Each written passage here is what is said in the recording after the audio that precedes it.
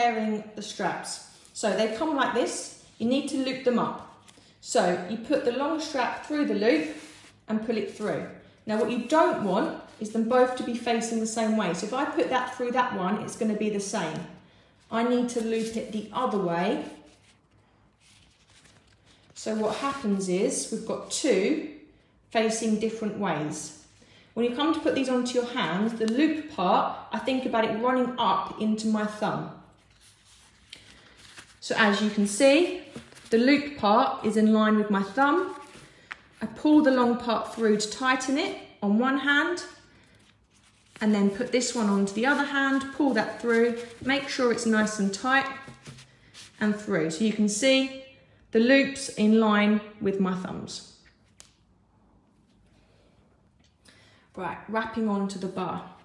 So, if you're gripping the bar overhand, which you would be for like an RDL for example, you take your strap, it goes underneath the bar and I like to put it up against where the knurling changes, just so they can be even on each hand. You go underneath, you hook it, you wrap it over the top, use your thumb to hold it, wrap it underneath, round again, and hook it through. You then use your hand to hold that top bit so it doesn't unwrap. If I let go, it's going to unwrap, okay? So you have to use your fingers to hold it then you scoot your hand round and grab around the area. Now, thing is, can you see at the moment, that's loose.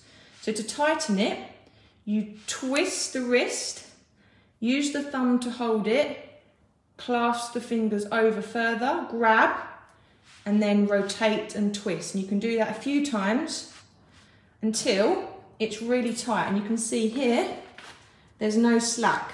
It's nice and tight to the bar. The tricky part comes in doing the second hand. So with the second hand, because this one's attached to the bar now, you kind of have to use your other hand, uh, fingers to flick it under and grab it. Then tighten it as close as possible. Wrap over the top and under. Wrap over the top and under. Use your fingers to take a grasp with your hand. Twist.